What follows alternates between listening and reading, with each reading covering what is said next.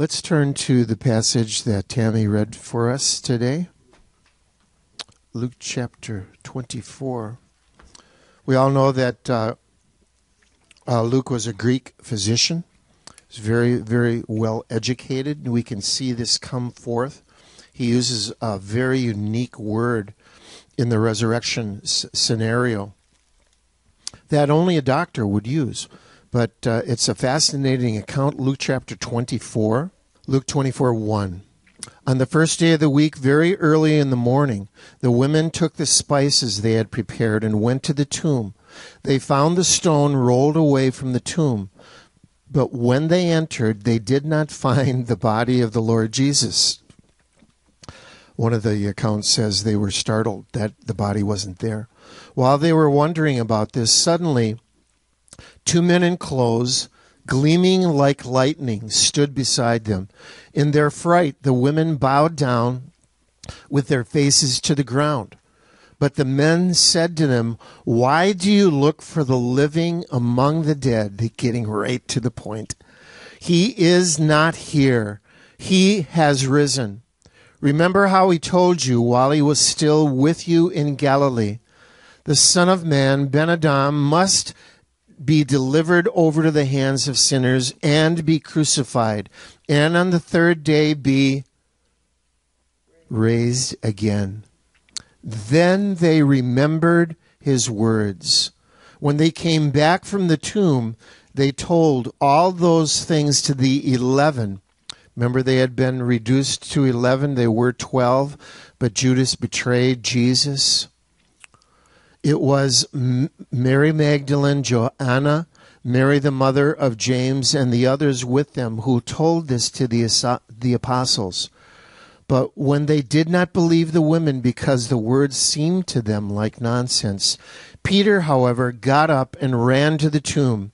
Bending over, he saw the strips of linen lying by themselves, and he went away wondering to himself what had happened. And then turn with me, if you would. We didn't put this in the bulletin, but this is uh, my sermon notes here. Powerful moment. The picture of the resurrected Lord Jesus, Revelation, uh, Revelation chapter 1. When John saw Jesus, Revelation 1:17, I fell at his feet as though dead. Then he placed his right hand on me and said, "Do not be afraid. I am the first and the last. I am the living one. I was dead and now look, I am alive forever and ever, and I hold the keys of death and Hades." Anyone have car keys with them?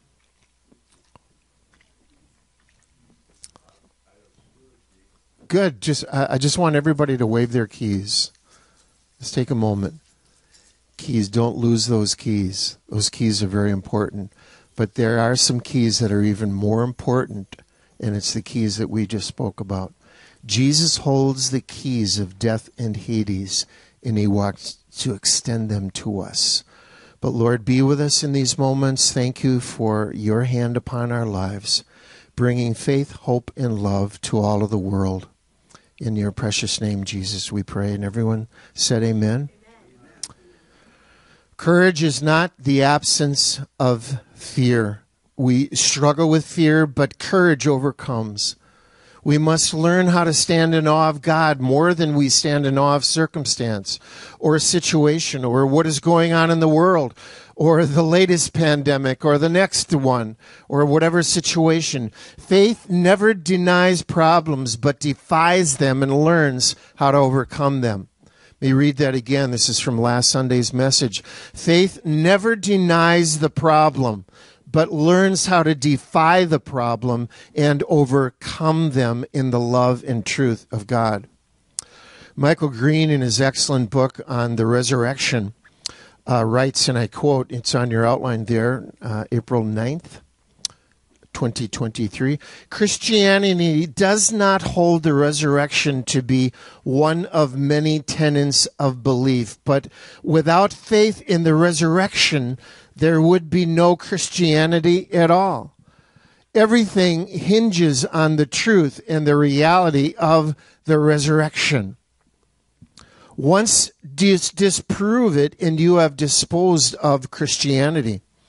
There were two guys over the course of the last 50 years who knew how true that one what that really was. Josh McDowell wrote a book called Evidence That Demands a Verdict.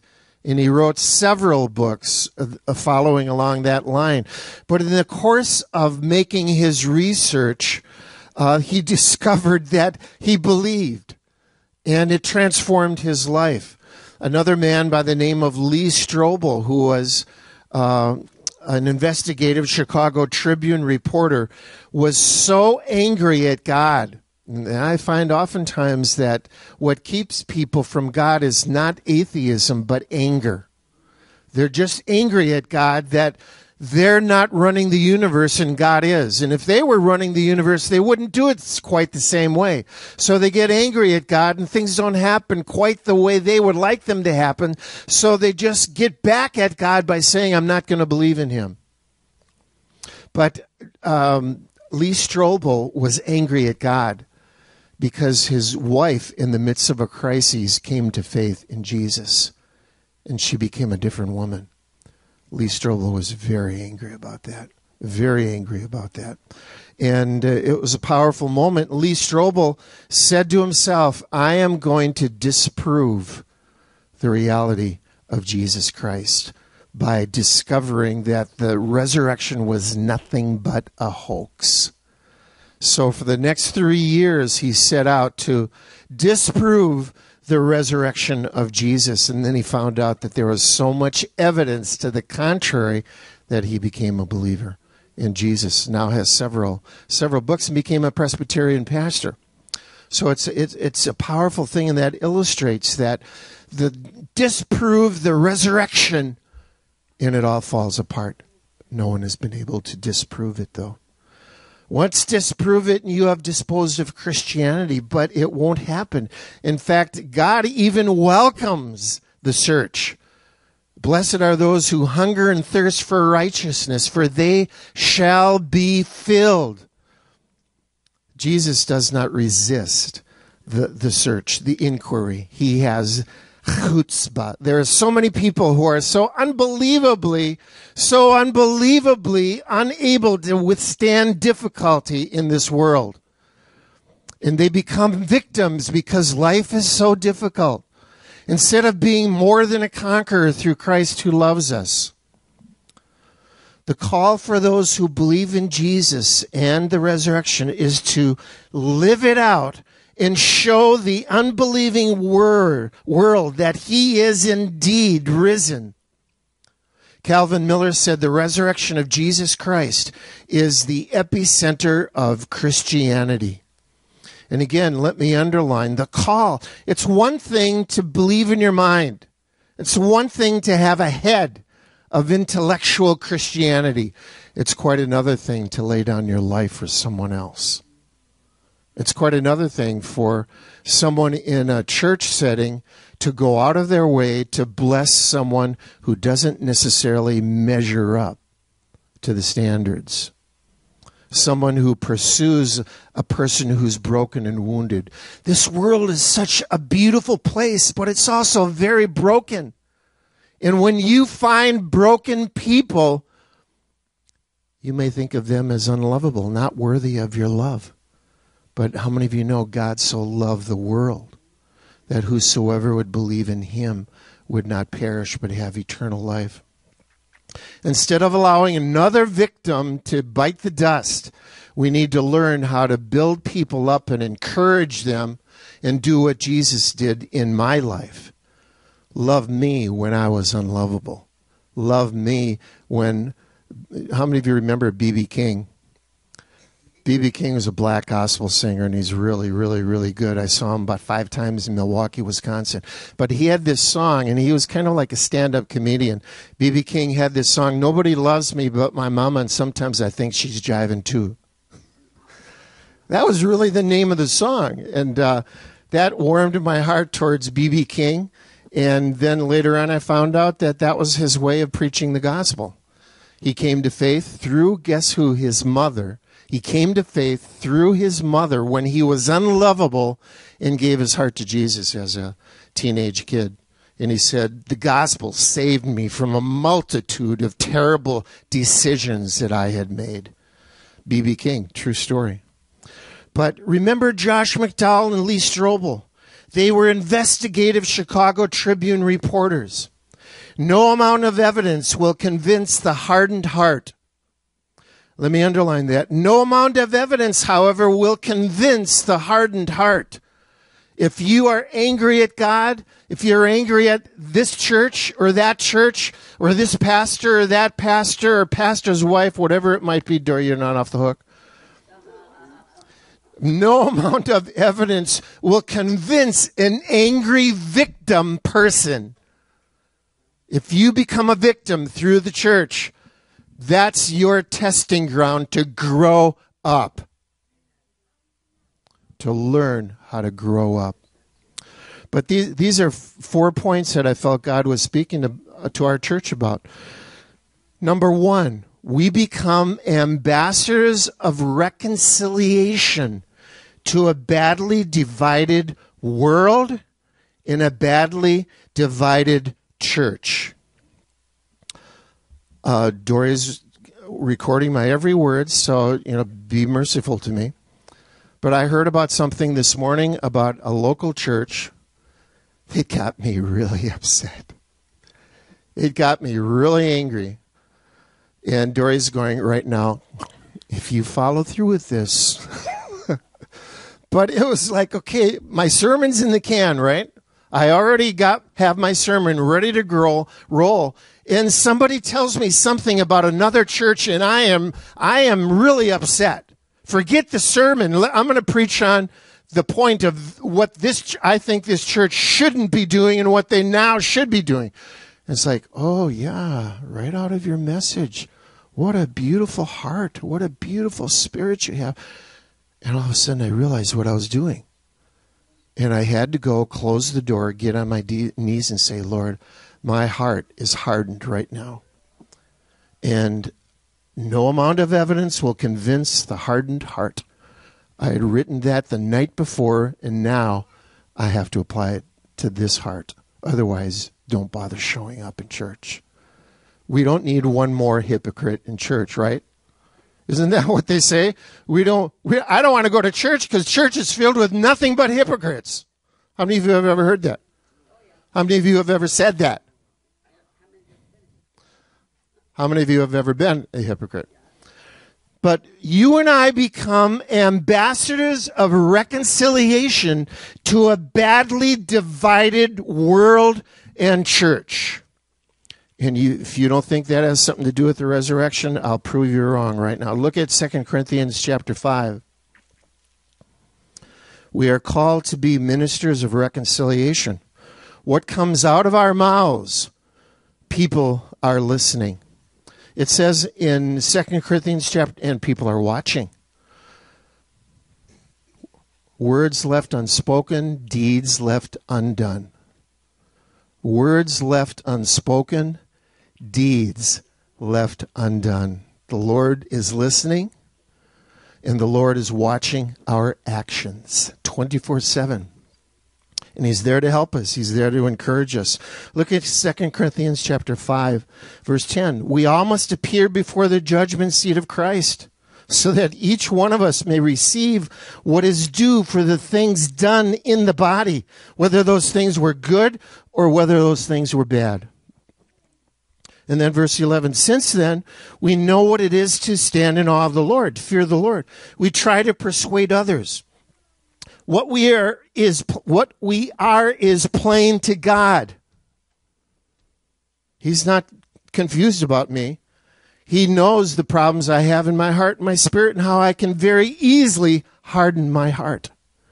We are not trying to commend ourselves to you again or def- defend ourselves, but we are giving you an opportunity to take pride in us so that you can answer those who take pride in what is seen rather than what is in the heart. there it is.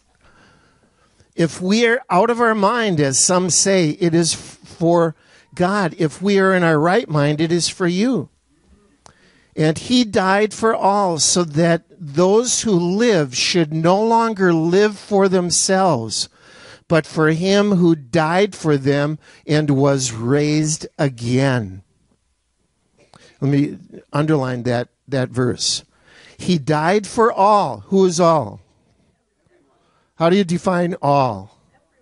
God so loved the world. What does the world mean? It means everybody. He died for all so that all who live should no longer just live for me, myself, and mine. Come to faith in Jesus and you, you get free this. Come to Jesus and you get free that. Everything's free. There's no laying down of your life anymore. He died for all so that those who live should no longer live for themselves, but for him who died for them and was raised again. Verse 17, therefore, if anyone is in Christ, he is a new creation. The old life is gone and the new life has come. Say, thank you, Lord. I don't have to live that old life anymore. That God was reconciling the world to himself in Christ, not counting men's sins against them anymore. And he has committed to us the message of reconciliation. Underline that. He has committed to us a message of reconciliation. If you think you are better than someone else because you have more knowledge, more skill, more experience, you, you realize the trouble that you are in. He has committed to us a message of reconciliation to a badly divided world and church. He died for all so that all who live should no longer live for themselves, but for him who died for them and was raised again. We should get her a microphone. Do you want to preach, honey? Yeah? She said yes.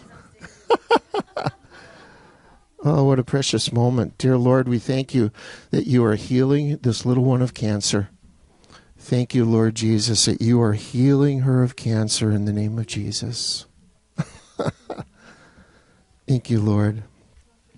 He has committed to us the message of reconciliation. The angel's challenging words are powerful. The angel's challenging words are very powerful to us to remember what Jesus said. It's a powerful moment in Scripture this the, the resurrection message is knocking on the door. He is not here, the angel said. He is risen. Remember how he told you while he was still with you in Galilee. Remember how he told you. How many of you are listening to what Jesus says to them? Remember how he told you. Your parents, what did I say again? What did I tell you? What do parents frequently say to their children? What did I tell you? What did I tell you? Don't you remember what I said? Uh, uh, what was it? What was it that you said? they remembered his words. Jesus had told them eight nine, ten times. I have several of the verses down there from John's Gospel, Matthew's Gospel, Mark's Gospel, Luke's Gospel. Jesus said, The Son of Man is going to go to Jerusalem, be betrayed, and he is going to be crucified, and on the third day he is going to rise again. What was that stuff about resurrection? That was really weird. That was really weird he doesn't we need to help jesus understand that he's a military conqueror and he's going to wipe out the romans and any jewish resistance is going to be thwarted as well guess who was right and guess who was wrong jesus' mission to become the sin bearer of the world to a message of reconciliation that god was not holding men's sins against them anymore it's a powerful word the angel's challenge remember his words. Then they remembered Jesus' words. This, this, this, he told us about this. But you and I are called to become ambassadors of reconciliation. One of the things that the Lord had us do when I was hiding away in the office as a first year pastor at Christian uh, Church of the Redeemer, then to become Christian Renewal Church, Jeff Marks came knocking on the door and saying, Pastor Scott, I know you're in there. I see your car outside. Says, God wants you to come to pastors' meetings. I said, Hi, Jeff. And I opened the door and I said, How did you know that I was here? He says, I see your car parked right out front. If you're going to be hiding from me, you better park your car in a better place. And it's true story. he talked me into coming to pastors' meetings. So much so that I found that meeting with other pastors could be a place of refuge and strength where we laugh together, where we cry together, where we encourage one another. And then everything that happened in the next years from Tammy, you remember you were the, you were one of the ones that helped us vote. We were at Iris Walker's house and we took a, a show of hands. How many of you feel we should move the church from the uh, Hamilton Wenham uh, Center to the church in Salem? How many of you were there at that meeting? You remember that meeting, Iris Walker's house? It was an incredible moment. That moment came about because of my connection with other pastors. I got to know Joe Cost, and every significant move of our church was directed by my connection with other pastors because I was reconciled with my brothers, my Spanish Latino brothers. Um, there was a Russian uh, brethren who uh, had Orthodox, Eastern Orthodox things, uh, a Catholic priest by the name of Father Louis Bourgeois. It didn't matter what denominational stripe he had because God was into the ministry of reconciliation. And I was supposed to be a part of what he was doing, not doing my own thing. And I had to learn how to obey what God was calling me to do ambassadors of reconciliation. Have to listen to what the Lord is saying. But number two, we also must become conquerors of despair. If you believe in the resurrection of Jesus from the dead, you have a ticket to become a conqueror of despair in a hopeless world. Peter was there at the tomb, as you read. He didn't have it figured out yet, if you think you have it all figured out, please come and talk to me. I'll show you where you don't if you have, if you have the chutzpah to listen.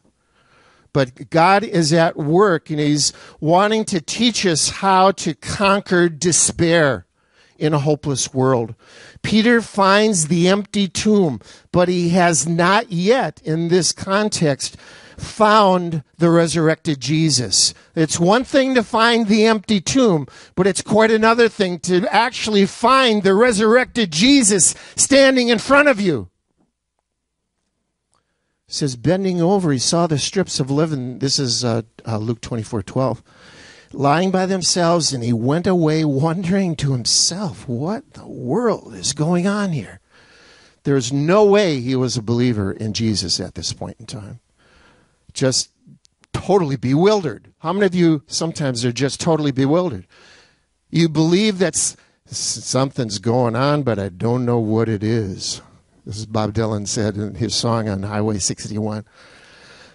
And you know something is going on, but you don't know what it is, do you, Mr. Jones? That's a great song.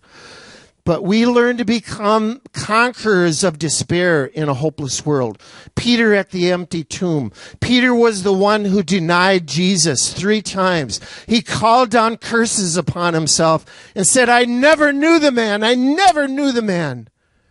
So Peter had a lot at stake in this. But look at First Peter. You have it down on your outline there. First Peter 1 3. New birth into a living hope, Peter wrote. Uh, praise be to the God and Father of our Lord Jesus Christ, who has given us a new birth into a living hope through the resurrection of Jesus from the dead. Powerful, powerful moment of resurrection glory. Powerful moment when Jesus sees Peter for the first time. Uh, the resurrected Jesus, he says, Shalom, peace. My peace be to you. Peter at the empty tomb, with then Peter with the visual reality of Jesus walking through the doors. The one who denied him three times. Would Jesus condemn him and tell him of his failures and his shortcomings? Instead, he says, Shalom. Shalom, peace. The Prince of Peace embracing Peter.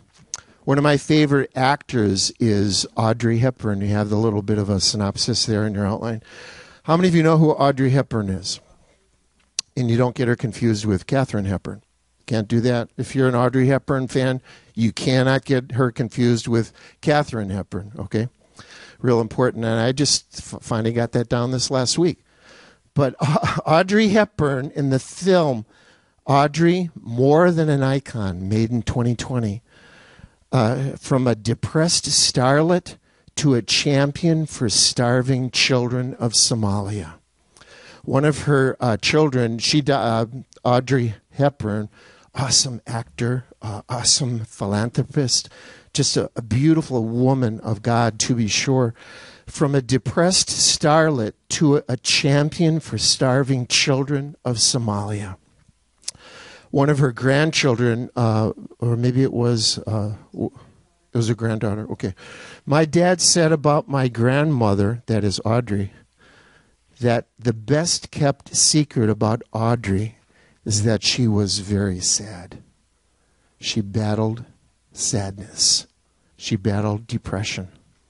So said her daughter Emma Hepburn Ferrer.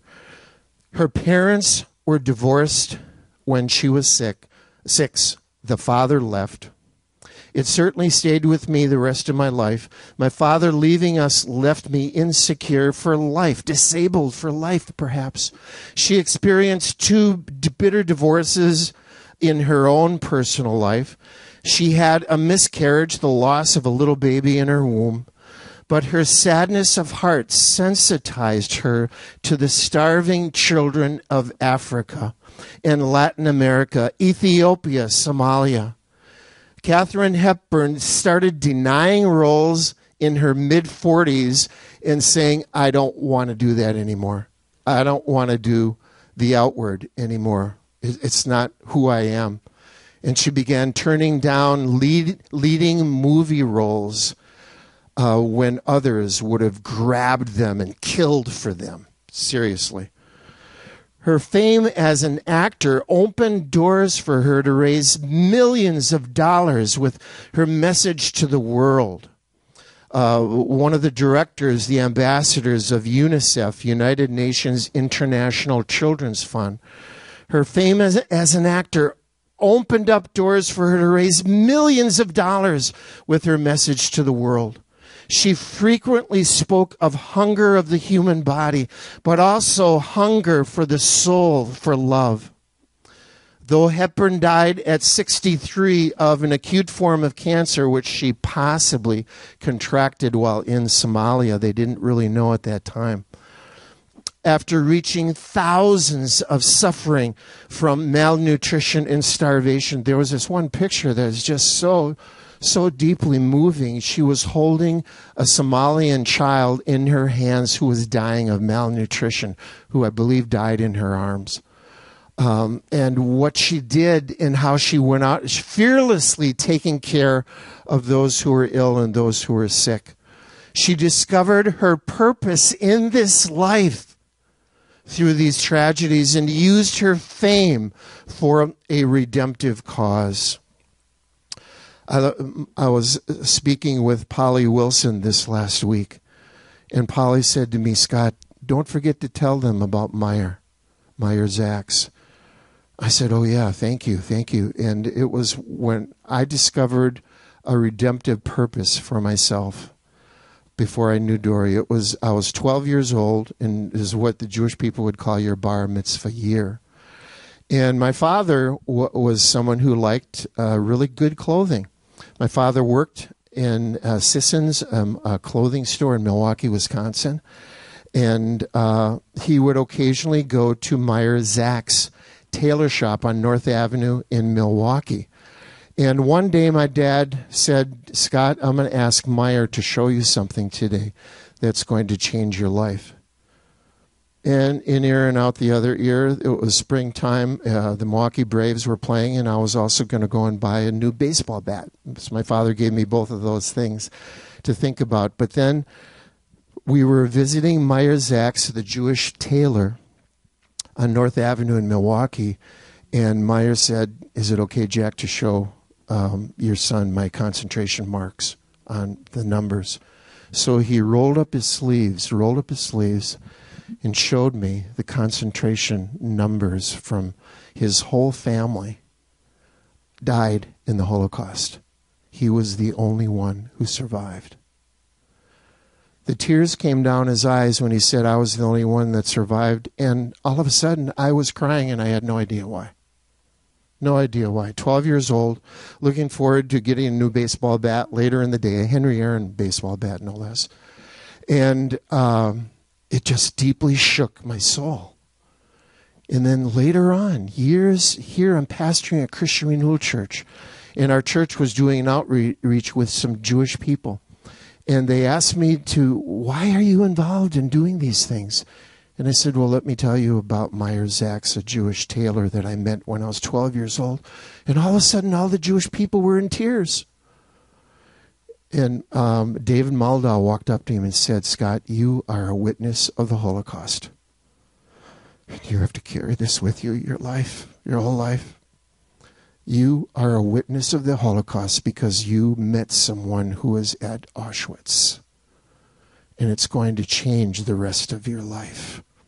You were, and then we bumped into someone by the name of Marv and Polly Wilson one of the leaders on planet Earth of a reconciliation movement with Jews. And anyone who became a part of this church had to be in sympathy with that vision. Otherwise, they wouldn't want to stay here. Because it was too much concern for Jews, not much, not enough conversion of Jews, too much just friendship with Jews, which is not what Marv would appreciate here, heard said but it was a powerful, powerful moment. We learn how to become those who can conquer despair in this world. Audrey Hepburn, amazing servant of the Lord. Only God knows where she is in eternity. I have a sneaking suspicion I know. But uh, we must learn how to become ambassadors of reconciliation. We must learn how to become conquerors of despair, like Audrey Hepburn did. Number three, we must become witnesses of the throne of lightning. A curious verse uh, in, in our uh, text is so powerful. Um, while they were wondering about this, suddenly two men in clothes with gleaming lightning stood beside them. These are two angels who are there at the throne of God. I believe they were there even in those moments and they came and helped Jesus and empowered him and brought the word, come forth in the name of God's love. Come forth. Two men in clothes that gleamed like lightning. Remember Revelation 1 6. His face was like the sun shining in all of its brilliance. Matthew 17, 2, the transfiguration. His face shone like the sun and his clothes became as white as light. Revelation 4 5, from the throne of God came flashes of lightning. These are not special effects. This is the real thing. Harnessed fire, lightning bolts, and the resurrection power and authority Satan could not stop or delay the resurrection for one moment. Satan could not delay the resurrection for one second. A lot of people get freaked out about what the enemy and what Satan is doing in this world, and I totally understand. But how many of you serve a risen Savior? He's in the world today. I know that He is with us no matter what men may say. We have a living hope. Thank you, Tammy. God bless you. You did such a good job today reading the call to worship for us. God bless you. You're especially loved, dear Tammy, by God. God's love is so high, is so powerful, so deep in your heart. We become witnesses of the throne of lightning. No special effects needed. Number four, we become witnesses of the redemptive keys. Freeing our lives from addictions that kill, steal, and destroy. Jesus said, Do not be afraid. I am the first and the last. I am the living one. I was dead, and now look. I am alive forever and ever, and I hold the keys of death and Hades. I hold the keys of death and Hades. He took them right from the Prince of Darkness. And he has them. Encounters with Jesus will set your and my life free. Jesus is the bondage breaker. Anybody read Neil Anderson's book, The Bondage Breaker? We studied that, uh, oh, it had to be 20 years ago in our church. We were doing it in Christian Ed. We had small groups when our church was about 60 or 70. It was a great book, a great book, and it's still relevant for today. But Jesus is the great bondage breaker. We serve him in this world today. And we're not here to count heads and say you're a success or a failure. There's a, oh no, I won't go there. Okay, Dory, I won't go there, I promise. Thank you, Lord Jesus. Thank you, Father. Thank you, Lord, for being here with us today. You can take that outline home if you want to. We become ambassadors of reconciliation to a badly divided world and church.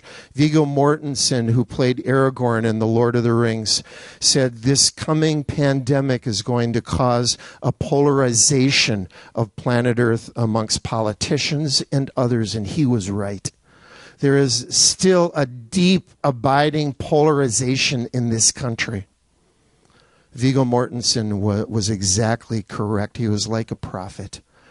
But Lord, we pray. Uh, how many of you are saying, because I know Jesus is risen from the dead, I want to be an ambassador of re- reconciliation, not someone who promotes more division and superiority and arrogance?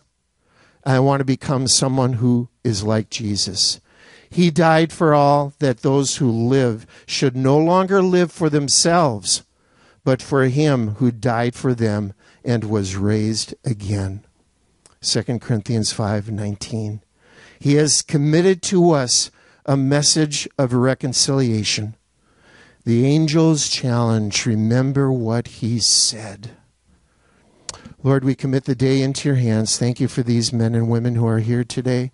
And thank you for uh, Pastor Santos Villegas as he comes in for the Latino Spanish service. Lord, bless our dear brothers and sisters. But Lord, we thank you for your hand upon our lives here. Lead us and guide us on paths of righteousness. Let us become ambassadors of reconciliation. How many of you want to be a conqueror of despair? Just reach out and take it from the Lord right now become a conqueror of despair like like Audrey was not afraid to go to Somalia was not afraid to go in difficult places and be used by God there when other Hollywood actors wouldn't dare set foot in Somalia. She frequently spoke of the hunger of the human body but also the hunger of the soul for love. And she was cured of her own sadness and sorrow Thank you, Abba. How many of you want to be witnesses of the throne of lightning? Believe in a supernatural God that when you reach out your hand and pray for the sick, pray for those with a brain tumor, the lightning fire of God can flow through you. How many of you believe it happens today? Lord, for uh, the Sanders uh, son in law, Chris, and Hannah Grace all of a sudden there they were, and he has a brain tumor. Lord, we all believe you and trust you that you are healing Chris right now. Thank you for those who are fasting and praying, Lord, and Lord, for the little girl that was visiting us today, Lord Jesus, dancing up here a little bit. Moments that I will never forget. But Lord, we thank you and uh, welcome the children to to the pulpit to be to speak to us and preach to us and we become witnesses of the redemptive keys, freeing our lives from addictions that steal, kill, and destroy. Behold, I am alive forever and ever, and I hold the keys of death and Hades. How many of you believe that Jesus is risen? And he holds the keys of death and Hades. Encounter with Jesus will set our lives free. Jesus is the bondage breaker. Thank you, Lord. Thank you, Abba. So go forth, brothers and sisters, receive what God has for you. Receive the power, the lightning power to overcome despair. Receive the lightning throne of God authority to trample on snakes and scorpions, to overcome all of the power of the enemy. And then when you say, Come out, there is no more demonic presence left. In the name of Jesus. So, Lord, we commit this Easter Sunday into your hands. Thank you for those who are going to be going Tuesday night to Liberty Tree Mall to see Come Out. And thank you for those who go and see at Liberty Tree Mall uh, his only son, the story of Abraham and Yitzhak. Laughter. So, Lord, we bless you for all the good things you're doing. Lord, help us to see it. Lord, help us not to develop a hardened heart or a critical spirit. In the name of Jesus, heal all of our hearts. And everyone said, Amen. Amen. amen.